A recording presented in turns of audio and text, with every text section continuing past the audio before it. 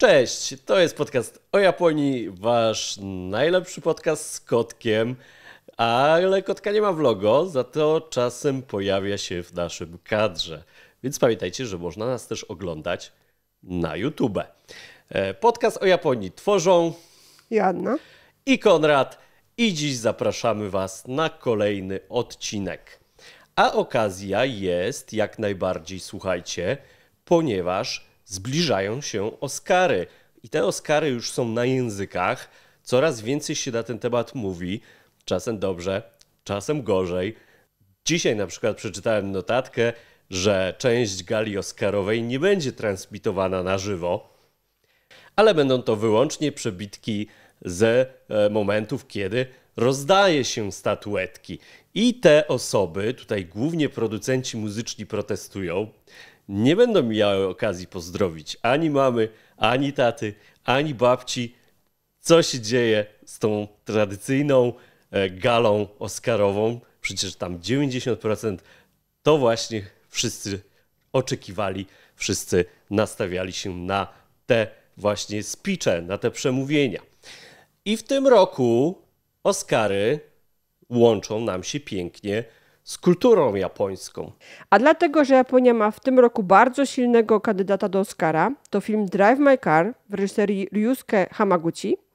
I słuchajcie, ten film jest nominowany w aż czterech kategoriach. Przede wszystkim do głównego konkursu najlepszy film, najlepszy reżyser, najlepszy film zagraniczny oraz najlepsza adaptacja, najlepszy scenariusz na podstawie adaptacji.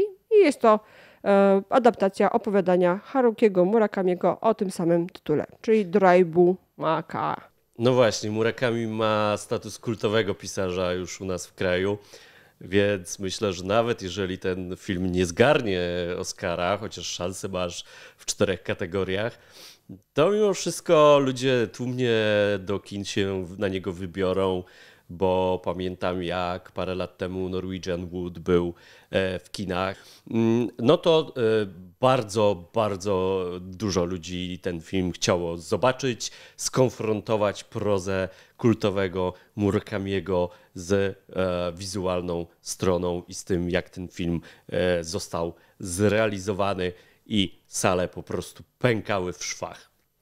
Ja myślę, że jednak ma dużą szansę na nagrodę, ponieważ już teraz został ten film doceniony.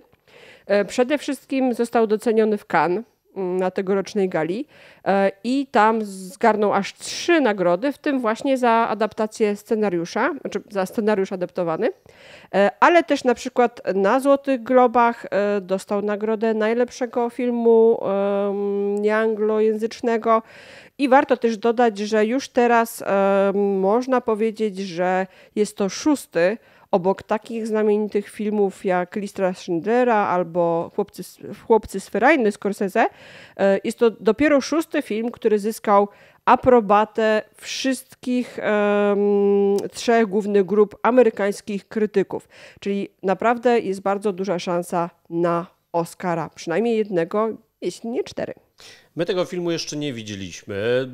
On był chyba dostępny do tej pory tylko na zamkniętych pokazach. Nie był go jakoś szeroko e, dystrybuowany. To się pewnie niedługo już zmieni. E, wiem, że jedno z warszawskich kin dosłownie na dniach miało też pokaz specjalny, mm, ale za to widzieliśmy inny film Hamaguchiego, e, ponieważ dzięki e, uprzejmości Stowarzyszenia Nowe Horyzonty, które zajmuje się promocją tego filmu oraz Gutek Film, czyli dystrybutora mm, kina takiego bardziej można powiedzieć ambitnego, niekomercyjnego, E, otrzymaliśmy dostęp, słuchajcie, do tego, żeby obejrzeć e, wcześniej niż premiera. Premiera miała miejsce wczoraj, więc jest to zupełna świeżynka. No i e, obejrzeliśmy film w pętli ryzyka i fantazji właśnie Hamaguchiego i tutaj chcieliśmy z Wami się podzielić naszymi wrażeniami. Ja jeszcze może powiem, że oprócz tego filmu e, w pętli ryzyka i fantazji widzieliśmy wcześniej jeszcze jeden film e, tego reżysera. To tak, był film Asako Dzień Asato, i Noc. Asako Dzień i Noc. E, a właściwie japoński tytuł można przetłumaczyć śpiąc, nie śpiąc, śpimy, nie śpimy. Bo jest to naprawdę pojechana historia o bardzo skomplikowanym, za, zakręconym scenariuszu, zakręcona historia, mnóstwo, mnóstwo zwrotów akcji i bardzo ciekawe postaci.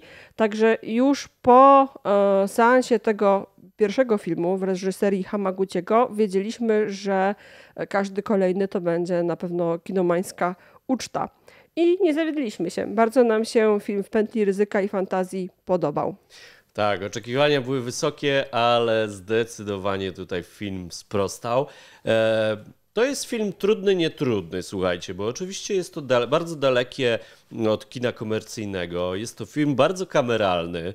Mm, występuje tam dosłownie kilku e, mm, aktorów i aktorek. Myślę, że tutaj przeważają nawet e, dziewczyny. Mm, I film jest podzielony na trzy e, części, trzy nowelki, takie trzy epizody. Każda z nich jest zamknięta i każda opowiada zupełnie inną historię. Ale łączą je wszystkie związki. I e, tutaj e, dialogi i rozmowy pomiędzy tymi naszymi aktorami są de facto clue e, tego filmu. Film jest bardzo statyczny, oszczędny w formie. Większość tej historii, którą poznajemy w trakcie filmu, odbywa się właśnie przez dialogi. No właśnie, komuś by się mogło wydawać, że taki film przegadany to może być trochę męczący, trochę nudny, ale te, uwierzcie mi, te dialogi są naprawdę zaskakujące. E, I można powiedzieć, że e, historię bohaterów i bohaterek łączy jeszcze jedna rzecz, a mianowicie jakiś taki e, nietypowy przypadek, jakaś okazja, coś, coś dziwnego, co się wydarzyło i jakby na, napatoczyło osoby na konkretne sytuacje, na siebie. I mogłoby się wydawać, że to wszystko e, jest naprawdę tylko taka sytuacja, która mogłaby się zdarzyć w jakimś filmie, a nie w rzeczywistości. I to chyba też jest mocna strona tego filmu, bo my nigdy do końca nie jesteśmy pewni, czy to, co się dzieje, to, co widzimy, to jest faktycznie część historii, czy może jakieś wyobrażenie, czy może um, odbywa się to w wyobraźni tych bohaterów. Tak, e, my się śmieliśmy, że musimy ten film jeszcze raz obejrzeć, przynajmniej, albo dwa razy, bo mm, e, naprawdę jest on otwarty w interpretacjach i czasami mieliśmy dosyć mocną zagwostkę, czy, czy na przykład jedna z bohaterek nie mówi nam pełnej prawdy o sobie, czy świadomie e, jakoś próbuje się kreować, czy też e, jest zupełnie szczera w tym, e, jak e, kreuje tutaj reżyser jej, jej postać. Także nie jesteśmy w stanie do końca pewnych wątków rozszyfrować. Mm, część może się tego filmu odbywać zupełnie w fantazji, co też co sugeruje tytuł poniekąd. Tak, co sugeruje tytuł w, w pętli ryzyka i fantazji. Więc tutaj, no, jakimś kluczem do tej interpretacji może być e, tytuł, ale zdecydowanie nie wyklucza tego, e, żeby samemu zastanawiać się. Moim takim smaczkiem, który sobie e, zapamiętałem dobrze, jest m, mm, jeden z bohaterów, który e, zdaje się w pewnym momencie e, zdawać sobie sprawę z tego, że jest filmowany, że jest obserwowany, jakoś gdzieś tam y, podskórnie może wyczuwa tą kamerę i zaczyna się obawiać tego, co mówi, zaczyna mm, się zastanawiać, krygować, mm, tak jakby to, co za moment powie, mogło gdzieś tam e, świadczyć na jego niekorzyść. Także m, mm, tutaj też taki, e, mamy taki fajny smaczek trochę przełamywania tej e, tak zwanej czwartej ściany. I, i chyba warto powiedzieć, że to, że on się obawiał, że coś jest nie tak, że to może się odwrócić na jego korzyść, to poniekąd tak się trochę stało, więc. Ale nie będziemy spoilerować. Nie będziemy spoiler spoilerować, ale tutaj ewidentnie reżyser bawi się konwencją. E, zastanawiamy się, gdzie ta e, granica między widzami a aktorami się znajduje. Także jeśli ktoś lubi filmy zbudowane na dialogach, jeżeli ktoś lubi e, nieoczywiste zwroty akcji, gdzie w pewnym momencie dowiadujemy się zupełnie nowych wątków, pojawiają się na przykład takie plansze trzy lata później, kilka lat później i e, otrzymujemy jakiś e, ciekawy epilog, albo e, jest w jakiś sposób modyfikowany ten nasz świat, żeby bardziej pasował do historii, prawda? To tutaj twój taki ulubiony wątek, e, on jest często w recenzjach podkreślany jako wątek science fiction. No właśnie, bo Konrad wspomniał, że ten film składa się z trzech etiudek, z trzech części. Jedna z nich, moja zdecydowana faworytka, to e, historia, która się dzieje w świecie alternatywnym. W alternatywnej rzeczywistości, w której wydarzyło się coś strasznego, e, bardzo poważna katastrofa e, na płaszczyźnie informatyczno-elektronicznej. Nie chcę tutaj za dużo, za dużo zdradzać, ale można się pokusić o takie trochę stwierdzenie, że świat ten w przyszłości, czy może w alternatywnej teraźniejszości, wygląda trochę jak ten świat, który ja pamiętam z dzieciństwa, bo naprawdę wydarzało się coś, e, co zmieniło życie wszystkich na całej planecie. E, I właśnie ten, ten element tej alternatywności, te, tego, tego science fiction bardzo, bardzo mi się podobał, bo ponownie zostały stworzone okoliczności, w których rozmowa e, i wyjaśnianie sobie pewnych kwestii, pewnych spraw nabrała e, takiego bardzo ważnego, bardzo ważnego narzędzia komunikacji. Powiemy tylko, że kasety magnetofonowe wróciły do łask. I wcale nie chodzi o hipsterów, ale to już cichosza. Ale muszę, Zobaczcie po muszę powiedzieć, że właśnie te dialogi, te rozmowy wielokrotnie wprawiły mnie w absolutne osłupienie. I to po prostu e, no, wyrywa z butów. Natomiast chciałam jeszcze powiedzieć o jeszcze jednej fajnej rzeczy, która dla mnie osobiście była bardzo przyjemna. Mm, to było też właśnie w tym odcinku, e, w tej alternatywnej rzeczywistości. Słuchajcie, nie byłabym sobą, gdybym nie znalazła w filmie jakiegoś takiego aspektu wątku podróżniczego. I myślę, że nie zdradzę zbyt wiele, jeżeli powiem, że akcja tej trzeciej części dzieje się w Sendai. Sendai to jest takie miasto e, niedaleko Fukushimy, e, które słynie z tego, że robione są tam bardzo piękne dekoracje i hucznie obchodzone jest święto Tanabata. Ale nie chodzi o Tanabatę, chodzi o, chodzi o Sendai i najbliższe okolice dworca.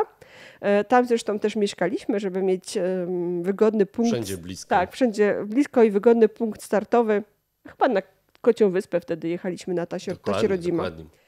I słuchajcie, e, mieliśmy taką sytuację, że e, okazało się, że nie mamy przy sobie zbyt dużo gotówki i w tej części Japonii akurat jakoś mniej było tych bankomatów, z których zazwyczaj wypłacaliśmy. I słuchajcie, tuż przed odjazdem autobusu, takiego ostatniego, który pozwoliłby nam zdążyć na prom na tą kocią wyspę, tam w ogóle e, dosyć kłopotliwe było to połączenie, e, byliśmy w kropce, bo nie mieliśmy pieniędzy na bilet autobusowy. I Konrad biegał po okolicy, po wszystkich wiaduktach, taki, było tam takie przejście. Przejściach naziemnych. Tak, tak, naziemne, nadziemne, w ogóle schody w górę, w dół biegał e, od jednego kombini do drugiego, żeby tam wypłacić pieniądze. Bo... No właśnie, i w filmie bohaterki po tym samym wiadukcie przy dworcu również biegają, bo jedna z nich przypomina sobie tam bardzo ważną rzecz i e, goni za drugą. I to były dokładnie te same kładki i dokładnie te same schody ruchowe, po których ja biegałem e, parę lat temu, więc e, bardzo nas to ubawiło i ucieszyło.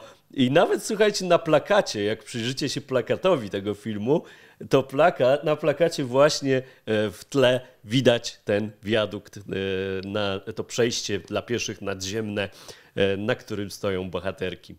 Tak, i to dla nas był dodatkowy osobisty smaczek. Jeżeli ktoś był w Sendai, to na pewno też tym przejściem szedł, więc takich, takie osoby, które lubią odnajdywać swoje ścieżki w filmach na pewno będą zadowolone.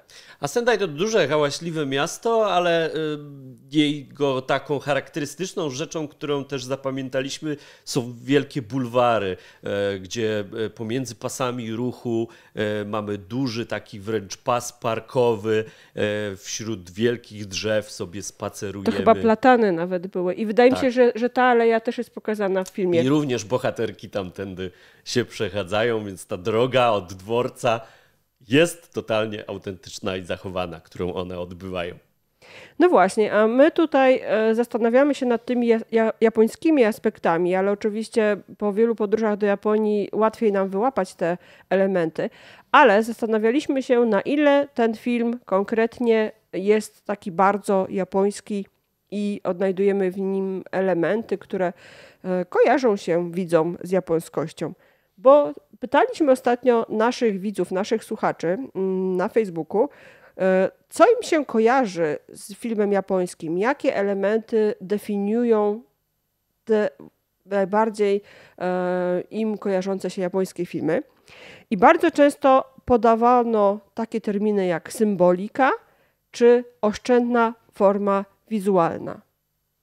I Konrad, ty powiedziałeś, że też wizualny aspekt tym filmie zwrócił Twoją uwagę. Tak, ja jeszcze nawiążę do tej japońskości, bo film też e, tutaj zalicza takie fajne wahadło, gdzie e, na początku chyba drugiej nowelki stwierdziliśmy, to jest mega uniwersalna historia, prawda? Mogłaby tak. to być historia dwojga ludzi, która się wydarzyła praktycznie na całym świecie, więc jakby zaczęliśmy się zastanawiać, czy Hamaguchi tutaj e, uderza w jakieś takie wątki globalizacyjne, ale dosłownie 10 minut później zrobiło się totalnie japońsko i zrobiło się już kompletnie tak klasycznie japońsko, e, takie e, no, kino, można powiedzieć, taki klasyczny Kurosawa. Więc e, mamy tutaj takie bardzo fajne amplitudy, gdzie od totalnie uniwersalnych jakichś zachowań przechodzimy właśnie w tą pełną egzotykę japońską. A Aśka mówiła o formie wizualnej, o stronie wizualnej, e, gdzie ten film jest bardzo, ale to bardzo ładny. Skomponowany jest w większości z klasycznych statycznych kadrów. Ja tutaj nazywam to takim stylem klasycznym skandynawskim, jeszcze sprzed tej dogmy trzęsącej się kamery, ale starsze filmy właśnie pochodzące ze Skandynawii to były filmy architektonicznie właśnie minimalistyczne, wiążące się ze, z architekturą, z takimi prostymi formami, e, gdzie geometria e, gra dużą rolę w kompozycji kadru, ale również bardzo takie płaskie, równomierne oświetlenie. I tutaj też w tym filmie widać, że wszystkie praktycznie te sceny są oświetlone w taki e, sterylny, niemalże laboratoryjny sposób, więc jeszcze bardziej tutaj nasilając takie odczucie, że właśnie jesteśmy świadkami badania pod mikroskopem niejako charakterów tych naszych bohaterów. Kiedy teraz o tym mówisz, to mi przychodzi do głowy mm, pewien inny film, film Noko Gigami e, Jadłodajnia pod Mewą. I e, dlaczego o tym pomyślałam? Mm, dlatego, że jest to japoński film, który został nakręcony w Skandynawii. Już nie pamiętam w którym mieście. Być może to był Sztokholm. Nie, nie pamiętam za diabła. Pamiętam właśnie, że były dokładnie te same zabiegi tam stosowane. Była e, cała w drewnie restauracja, e, też oszczędna właśnie taka e, architektura wnętrz e, i najważniejsze było to, co się działo pomiędzy bohaterami, te relacje. I więc myślę, że to jest skandynawskie, ale Japończykom bardzo to pasuje, że może, nie chcę tutaj zabrzmieć śmiesznie czy jakoś tak na siłę, ale pewne takie elementy zen można odnaleźć w, tej, w tym filmie i, i właśnie w takim sposobie prowadzenia kamery, w takiej scenografii, sytuacjach, sytuacjach niby oszczędnych, ale przegadanych, ale są, tak jak Konrad powiedział, momenty takiej sinusoidy, że raz jest bardzo, bardzo dużo mówione, a potem bardzo e, istotna jest właśnie i ta cisza, i te gesty. Więc myślę, że wszystkie te elementy, które lubicie w japońskim kinie, właśnie znajdziecie w pętli ryzyka i fantazji. Także jeszcze raz dziękujemy. Stowarzyszenie e, Nowe Horyzonty, kłaniamy Wam się w pas, bo e, poczuliśmy się przez chwilę jak dziennikarze, mając ekskluzywny dostęp e, chyba ponad tydzień od, od, od tej naszej premiery wczorajszej mm, do filmu i mogąc sobie go na spokojnie obejrzeć i podyskutować poanalizować. Także dziękujemy Wam bardzo serdecznie. A Was wszystkich zapraszamy i zachęcamy do tego, żeby e, obejrzeć ten film e, teraz w kinach. E, jest grany w całej Polsce. Mm, no albo jak pojawi się gdzieś tam w dystrybucji cyfrowej, to też pamiętajcie o nim jeżeli na nasz odcinek podcastu e, natknęliście się e, długo, długo po premierze, to być może już ten film jest dostępny na DVD albo na jakiejś platformie e, VOD, więc też wiedzcie i pamiętajcie, że warto po niego sięgnąć. Można go sobie również potraktować jako miniserial, bo tak jak wspominaliśmy, to są trzy nowelki zupełnie niezależne, więc również można go sobie konsumować na raty. E, no dobrze, wróćmy do tych Oscarów, słuchajcie, bo e, punktem wyjścia do tej naszej dzisiejszej audycji e, są właśnie Oscary i tutaj taka nasza rozkminka. Zaczęliśmy się zastanawiać, na ile Japonia jest silna, jeżeli chodzi o nagrody filmowe i wyszło nam, że faktycznie jest. Warto zauważyć, że japońska kinematografia ma dosyć długą historię. Pierwsze mm, japońskie filmy powstały już pod koniec XIX wieku, kiedy do Japonii zaczęli docierać pierwsi zachodni operatorzy. Obecnie szacuje się, że przemysł filmowy Japonii to czwarty taki największy przemysł na świecie, a to jest mierzone na podstawie liczby fabularnych filmów, które są produkowane. E, jeśli chodzi o kwestie najbardziej znanych japońskich reżyserów, Zastanawialiśmy się z Konradem nad tym i postanowiłam zrobić mały research. Zadałam to pytanie Google'owi, zajrzałam do bazy IMDB oraz, oraz na kilka um, uznanych um, stron o kulturze Japonii, o popkulturze, o filmie. Okazało się, że grono e, tych japońskich e, reżyserów znanych wcale nie jest takie duże. Na listach, mm, rankingach pojawiają się praktycznie te same nazwiska, przy czym one się zmieniają, jeżeli chodzi o kolejność. Ktoś ma oczywiście swoje własne upodobania, więc kogoś e, postawi wyżej czy niżej. Niemniej są to praktycznie te same osoby. E, jeśli zajrzy się do bazy IMDB, mm, to oczywiście tych nazwisk będzie o wiele więcej, no bo to się łączy z tym, że baza ma bardzo dużą duży zasób informacji, e, ale gdybyśmy mieli wskazać tych najbardziej znanych, to pojawią się tam takie nazwisko jak Hayao Miyazaki, który został nagrodzony Oscarem za Spirited Away, e, wspomniany już Akira Kurosawa, Oscar honorowy za Rashomon, e, Yasujiro Ozu, też wspomniany, i nagroda za tokijską opowieść. Takashi Miike, którego Wara Notate, czyli pole traw, e, był nominowany do e, Złotej Palmy w Cannes. E, Kenji Mizoguchi, Srebrny Lew w Wenecji. Nagisa Oshima, tutaj też najlepszy reżyser doceniony w Cannes. Koni Chikawa, który również miał kilka miał nominacje do Oscara. Takeshi Kitano, Lew Złoty w Wenecji. E, nawet został e, mianowany komandorem Orderu Sztuki i Literatury we Francji. Te, wszystkie te nazwiska, które pojawiają się na e, listach najbardziej znanych, no to są właśnie, którzy zostali nagrodzeni za, zachodnimi e, nagrodami, czyli Złota Palma, e, Niedźwiedzie mm, czy e, oczywiście Oscary. Powiem Ci, że nawet jakbym tej listy nie widział, to większość osób, które znamy, pewnie gdybyśmy je zapytali, od czego zaczęły swoją przygodę z japońskim kinem i jaki był pierwszy film, po którym w ogóle się zainteresowali tym kinem azjatyckim, to właśnie to będzie Miyazaki, e, Spirited Away albo Mononoke. E, też niedawno było epitafium e, Jagody Murczyńskiej. Ona też wspominała, że właśnie od Miyazaki i od Kurosały no i oczywiście Ozu, który klasycznie japońska opowieść e, pewnie też była tym pierwszym filmem dla wielu, wielu osób, które zaczynały swoją przygodę z japońskim kinem. Ale słuchajcie, e, tutaj jest taki trochę rozdźwięk, bo mm, mamy mnóstwo filmów, które są nominowane i nagradzane, ale okazuje się, że tych Oscarów, jakby tak popatrzeć po historii i po liście, wcale nie było tak dużo. Japonia zgłasza filmy do konkursu Oscara, do konkursów Akademii praktycznie od momentu, kiedy było to możliwe, czyli od 1956 roku. E, I wcześniej nie było tego konkursu na, na ten film, najlepszy film zagraniczny. Obecnie kryteria są takie, że większość dialogów musi być prowadzona w języku innym niż angielski. No i oczywiście film musi być produkcji innej niż amerykańska.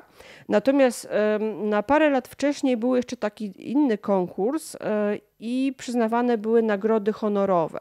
I właśnie w tych latach wcześniejszych, czyli jeszcze przed 56, e, aż trzy japońskie filmy otrzymały właśnie tego Oscara honorowego, honorową nagrodę Akademii. Było, był to wspomniany właśnie Akira Kurosawa za Rashomon, ale także Teinosuke Kinugasa za film Gate of Hell, czyli Wrota do piekła i Hiroshi Inagaki za film Miyamoto Musashi. I te wszystkie filmy to są właśnie filmy z lat 50. Od momentu, kiedy zaczęły być przyznawane nagrody w oddzielnej kategorii dla filmów zagranicznych. E, Japonia zgłasza te filmy, zgłosiła ich e, kilkadziesiąt. E, mm, jeżeli dobrze pamiętam, było to 60 kilka filmów. Mm, I słuchajcie, do teraz wcale nie było tak wiele nagród, bo tak naprawdę tylko 17 z tych 60 paru filmów zgłoszonych zostało nominowane E, w różnych kategoriach. Przy czym, e, jeżeli chodzi o, e, o te kategorie nominacji, to oprócz głównego konkursu na najlepszy film zagraniczny, były to przede wszystkim nominacje w kategoriach takich jak Best Production Design, 6 nominacji, Best Costume Design, 7 nominacji, no i oczywiście Best Animated Feature, czyli najlepszy film animowany, 8 nominacji. Do, do teraz, do 2022 roku, łącznie 12 japońskich filmów było nominowanych e, do Oscara w tej kategorii najlepszy film nieanglojęzyczny, e, z czego tylko jeden, słuchajcie, dostał tą nagrodę i to był film Departures, czyli Okuribito, o którym zresztą bardzo dużo rozmawialiśmy w poprzednich naszych tak, był audycjach. Już, był już w odcinkach, sięgnijcie po odcinki o kinie japońskim. I słuchajcie, to rzeczywiście może być bardzo zaskakujące, bo te filmy są rewelacyjne, nagradzane w Cannes, nagradzane w Berlinie, nagradzane w Wenecji, a tych Oscarów wcale nie było tak dużo, dlatego tym bardziej trzymamy kciuki za Drive My Car, e, bo e, jest szansa, naprawdę jest duża szansa na, na Oscara, no i zwłaszcza na ten konkurs ym, główny. No to jest w ogóle coś niesamowitego. My będziemy śledzić, nie wiem czy na żywo damy radę, bo to środek nocy jak zwykle, ale na pewno będziemy trzymać kciuki. Także wy też trzymajcie.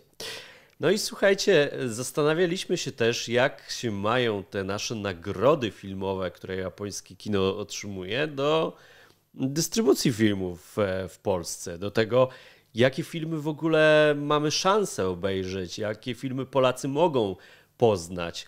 I ja wiem, że tutaj zrobiłaś mały research na ten temat i tak. możesz się pochwalić wynikami. Tutaj się odzywa moja natura badacza. W ogóle zastanawiałam się nad tym, jak to jest um, i w Polsce, i, i ogólnie na Zachodzie, um, jak ludzie E, kształtują ten swój pogląd na um, sztukę japońską, na film japoński. Czy ludzie wybierają um, te japońskie filmy i twórców, które, których poznają e, tak bardzo świadomie? I oczywiście trzeba powiedzieć, że nie do końca. Tutaj bardzo istotną kwestią jest bariera językowa. W przypadku japońskich filmów bardzo często jest ta przeszkoda w postaci języka. Jeżeli nie są zrobione napisy, jeżeli nie zrobiła tych napisów społeczność, to praktycznie dla większości widzów zachodnich, w tym polskich, mm, te filmy są po prostu no, nie do obejrzenia, nie do zrozumienia. Czyli tutaj się pojawia właśnie dodatkowa bariera, e, gdzie nie możemy sami jakby e, zgłębiać tego tematu, musimy podpierać się tym, co co nam zaoferują właśnie kina, co nam zaoferują dystrybutorzy i, i, i te platformy streamingowe, które oferują tłumaczenia. E, I zastanawialiśmy się z Konradem, na jakiej podstawie mm, na jakiej podstawie jest dokonywany wybór tych filmów, które trafiają do Polski, bo to nas najbardziej w sumie interesowało. Przy czym mówimy tutaj o takiej oficjalnej dystrybucji, czyli te filmy, które są w kinach całym kraju grane. Nie mamy na myśli festiwali filmowych, mhm. gdzie wiadomo, że są takie sprofilowane na Azję i e, tam można e, obejrzeć e, naprawdę rzadkie rzeczy i perełki, takie perełki, nową falę. białe kruki różnego rodzaju. Ale odbywa się to zazwyczaj tylko raz w roku, parę dni, trzeba się wstrzelić, trzeba mieć czas, prawda? A jeśli chodzi o tą oficjalną dystrybucję, no to tutaj mamy pewne pewniaki. I takim pewniakiem na pewno będą filmy nagradzane. I ja uważam, że takim pewniakiem, poprawcie mnie w komentarzach, jeżeli się mylę, będą też filmy należące do kategorii anime, czyli japońskiej animacji. No, chociaż tutaj też te kategorie się nakładają, bo tak jak wspominaliśmy, Spirited Away czy Ghost in the Shell, przecież to też są filmy, które były bardzo nagradzane. Ale wracając do tego mojego badania naukowego, um, przejrzałam, słuchajcie, bardzo dokładnie e, listę premier w Polsce z ostatnich 8 lat. Naprawdę przejrzałam miesiąc po miesiącu, przeglądałam wszystkie tytuły. I słuchajcie, e, biorąc pod uwagę tą niewielką ilość Oscarów, które jednak są chyba głównym wyznacznikiem, okazało się, że do polskich kin w ciągu 8 lat trafiło 11 filmów do tej normalnej, regularnej dystrybucji. Biorąc pod uwagę, że ostatnie dwa lata to był naprawdę hardcore, także e, dla kin, e, i były takie sytuacje, że kina były po prostu zamknięte, dlatego w niektórych miesiącach nie było w ogóle premier. Tak było w 2021 roku, w styczniu, w marcu, ale też w 2020, kwiecień, maj. E, no po prostu nie było premier, bo się nie chodziło do kina. Biorąc pod uwagę właśnie te dwa chude pandemiczne lata, no można powiedzieć, że w ciągu wcześniejszych sześciu lat premiery w Polsce miało 10 japońskich filmów. E, czyli można powiedzieć, z matematycznego punktu widzenia jest to nieco powyżej półtora filmu rocznie. Jest to troszeczkę zatrważające. E, jakbyśmy chcieli w ogóle popatrzeć, jakie tytuły trafiły do tej dystrybucji, no to w 2020 była to prawda, Hirokazu Koreeda e, i to był marzec. E, w lipcu 2020 zaginiona dziewczyna Koji Fukada. Wcześniej w 2019 Ramen Smak Wspomnień. E, jest to koprodukcja singapursko-japońsko-francuska. Na tym filmie oczywiście też byliśmy w kinie, pamiętam dokładnie ten seans. E, w marcu 2019 Złodziejaszki, znowu Hirokazu Koreeda. E, w maju 2019 wspomniana już Asako Dzień i Noc, czyli film Ryosuke Hamaguchiego i Sachiko Tanaki. E, w 2018 Wyznania mordercy, mm, to jest film w reżyserii Yu Irie, Blask Naomi Kawase, to koprodukcja francusko-japońska, koprodukcja Japonia, Włochy, Filipiny, Blanka, ale możecie o tym filmie mniej słyszeć, bo e, akcja toczy się głównie e, właśnie na Filipinach. Reżyserio Koki Hasei, czyli trzy filmy w 2018. W 2017 nie było żadnej japońskiej premiery. Były raz, dwa, trzy, cztery, pięć premier azjatyckich filmów i głównie to była Korea Południowa, ale japońskiego nie było. W 2016 dwa filmy. Nasz ukochany film Nasza młodsza siostra z 2015 roku, znowu Hirokazu Koreeda oraz drugi bardzo przez nas ceniony i lubiony film Kwiat Wiśni i Czerwona Fasola, czyli japoński tytuł An, Naomi Kawase. No i niestety w 2015 żadnego japońskiego filmu nie było. Czyli słuchajcie, tej dystrybucji nie jest dużo, dlatego tym bardziej cieszymy się, że w pętli ryzyka i fantazji Hamaguchiego trafiło do kin. I to no i trafiło... Drive, na, Drive tak, My Car chyba też trafi. jest pewniakiem, że na pewno trafi. Słuchajcie, jak tak czytałaś ten blask, to sobie przypomniałem, że filmy nagrodzone, animacje, no i japoński horror, bo też to e, są amatorzy przecież horrorów i jest to grupa całkiem e, liczna, więc e, prosimy o więcej japońskich horrorów, bo my też jesteśmy fanami. Prosimy o więcej horrorów, prosimy o więcej filmów, które absolutnie się wybijają na tle międzynarodowego kina. Japończycy właśnie dobrze są zarówno w horrorach, zarówno w filmach e, kostiumowych, e, gdzie pojawiają się samurajowie. E, oczywiście świetni są w filmach e, science fiction, e, zwłaszcza z tego nurtu cyberpunk. E, świetni są oczywiście też w filmach takich obyczajowo refleksyjnych i właśnie do, e, do tego nurtu zaliczyłabym e, w pętli ryzyka i fantazji. E, natomiast jeżeli byście szukali czegoś więcej, to oczywiście to, o czym mówił wcześniej Konrad, polecamy zaglądać na festiwale, innymi na festiwal Nowe Horyzonty, ale też na platformy VOD, bo coraz więcej ich się pojawia i e, dzięki pandemii mieliśmy e, ten taki boom na rozwój e, tych różnych platform i wiele festiwali pokazywało albo bezpośrednio na platformach tych streamingowych, albo w wersji takiej hybrydowej, trochę w kinie, trochę, trochę na platformach. Dzięki temu też osoby z mniejszych miejscowości mają szansę obejrzeć japońskie filmy i to jest super. Mhm. My też staramy się od czasu do czasu robić na blogu takie przeglądy, mm, jakie filmy można znaleźć właśnie azjatyckie czy, czy wręcz japońskie. Mm, natomiast jeżeli wy, drodzy słuchacze, e, znacie jakieś miejsca również, które być może w łatwy sposób pozwalają wyszukać, gdzie na jakich platformach, jakie filmy spoza takiego mainstreamu e, czy spoza Europy i Ameryki można obejrzeć, a w szczególności koncentrujemy się oczywiście na regionie azjatyckim i na Japonii.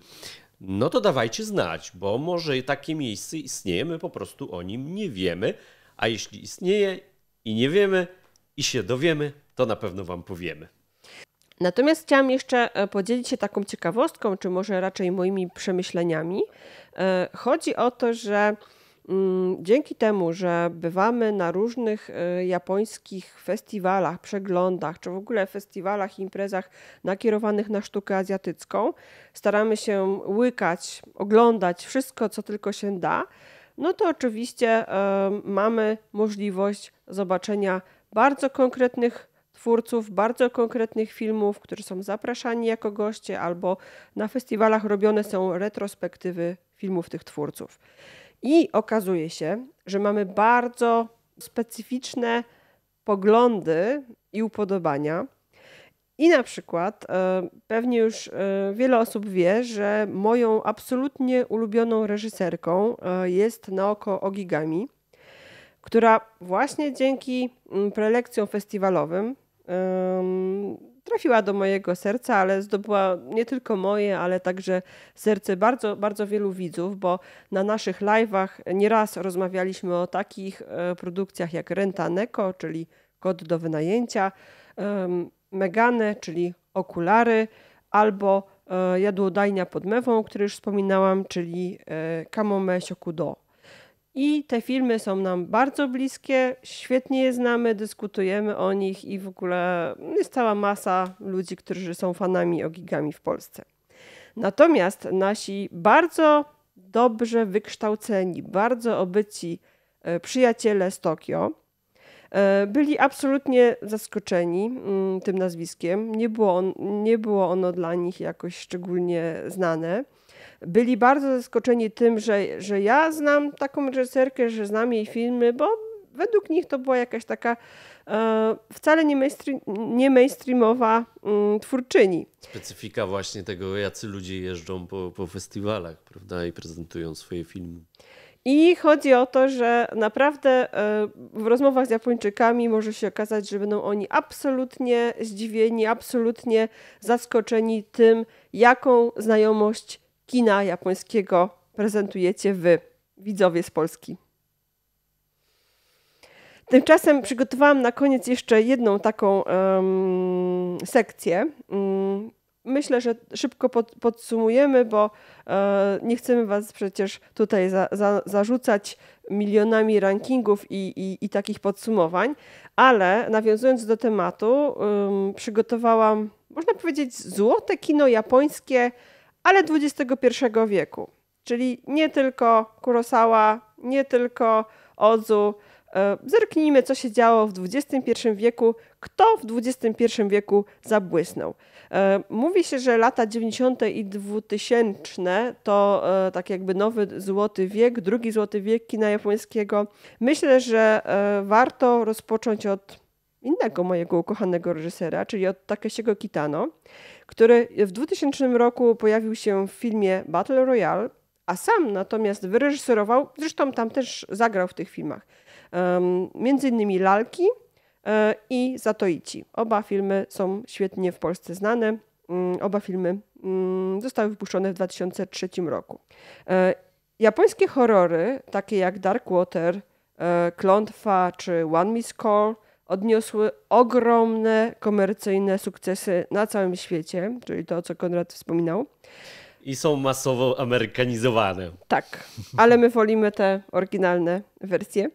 Ale w, co też jest dosyć e, ciekawe, że w Japonii jest rozpowszechniona kultura dojinshi, czyli remiksowania wszystkiego.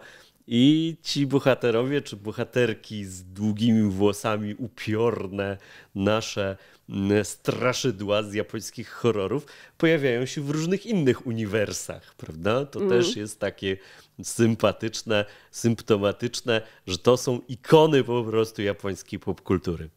Ale wracając do tych, do tych nagród i do, tego, do, tej, do tej złotej kinematografii, Wspomnijmy sobie jeszcze raz Hirokazu Koreeda. On e, na świecie mocno został e, zauważony za przede wszystkim dwa filmy. E, Oddalenie, po angielsku Distance, bo chyba tak jest częściej określany, który był nominowany do Złotej Palmy w Cannes i to jest 2001 rok. W 2004 Dziecięcy Świat.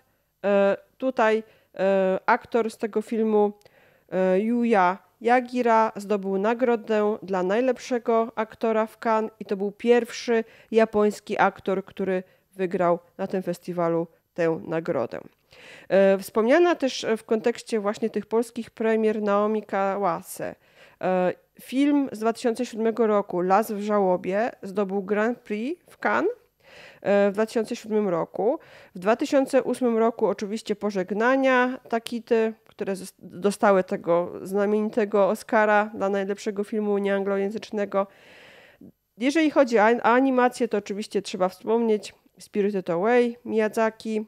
Film pobił absolutne rekordy kasowe, jeżeli chodzi o o Japonię, natomiast także e, został doceniony na całym świecie i w tym momencie mówi się, że to jest e, klasyka animacji, która bardzo mocno wpłynęła na to, jak światowa animacja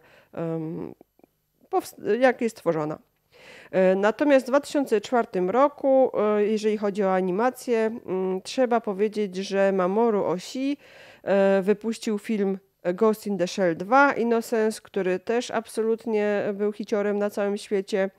E, Satoshi Kon wydał trzy odnoszące sukcesy filmy, między innymi mm, była to e, nasza ulubiona Paprika, ale także Millennium Actress i Tokyo Godfathers. E, Hideaki Anno zrezygnował na szczęście z reżyserowania kina aktorskiego i powrócił do swojej wciąż popularnej i znowu popularnej e, animacji Evangelion. 2010 e, Caterpillar e, Wakamatsu rywalizował o nagrodę Złotego Niedźwiedzia w Berlinie, a zdobył Srebrnego Niedźwiedzia w kategorii najlepsza aktorka. 2010 film to oczywiście też Outrage Takeshiego Kitano. On grał o Złotą Palmę w Cannes. 2011 Himidzu Sionasono walczył o Złotego Lwa w Wenecji. 2012 e, Harakiri, Śmierć Samuraja, Takasiego Mike, też jeden z moich ukochanych reżyserów, też walczył o Złotą Palmę. E, I w ogóle warto zauważyć, że był to pierwszy film 3D, który był kiedykolwiek pokazywany w konkursie w Cannes. No i tu już zbliżamy się do czasów obecnych 2018 Złodziejaszki Hirokazu Koredy zdobył Złotą, pal Złotą Palmę. W 2020 anime Demon Slayer e, oparty na Kimetsu no Yaiba pobił wszystkie absolutnie rekordy kasowe w Japonii, stając się najbardziej dochodowym filmem wszechczasów w tym kraju.